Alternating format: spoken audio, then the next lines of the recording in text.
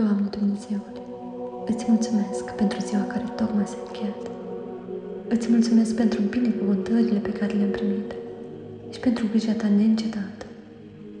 Îți cer iertare pentru orice greșeală sau greutate pe care le-am avut astăzi. Te rog să mă ierți și să mă ajuți să învăț în experiențele mele. Înainte de a dormi, îți încredințez toate grijile, nevoile și dorințele mele. Te rog să mă protejezi și să mă veghezi asupra familiei și prietenilor mei. Și îți cer să îndepărtezi orice teamă sau neliniște din inima mea și să-mi oferi pacea ta. Mulțumesc, Doamne, că ești mereu lângă mine, chiar și în timpul nopții.